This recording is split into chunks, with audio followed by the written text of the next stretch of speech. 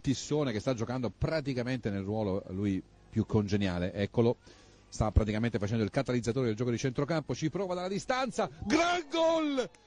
L'ho appena finito di dire, l'ho appena finito di dire, Fernando Tissone firma il suo primo gol nella sua migliore partita in rosso-blu al 39 minuto. E che gol ragazzi, un gran destro con il pallone che si è insaccato sotto l'incrocio alla sinistra del portiere eh, Spina e dunque allo stadio San Ciro di Portici. Il Taranto è in vantaggio, ha eh, praticamente ribaltato il risultato, la formazione ionica in 10 minuti, in 14 minuti al 25 Sant'Arpia, al 39 il gran gol di Ferdinando.